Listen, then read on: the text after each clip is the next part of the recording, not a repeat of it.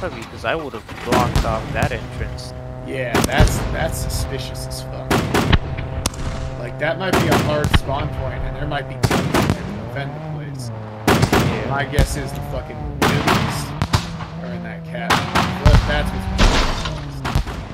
what's But there's always the option of going in for the beds and destroying them. It's true. I mean, yeah. That is if they're, you know, online at the moment. yeah. I mean, uh, you know what? I mean, hell, I wouldn't be surprised if Did it explode? Just look at those windows, alright? Start banging grenades out those windows into this area. Somebody's picking that shit. Interesting.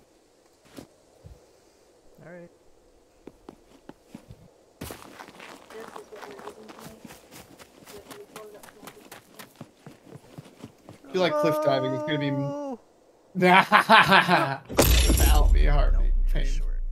Ah.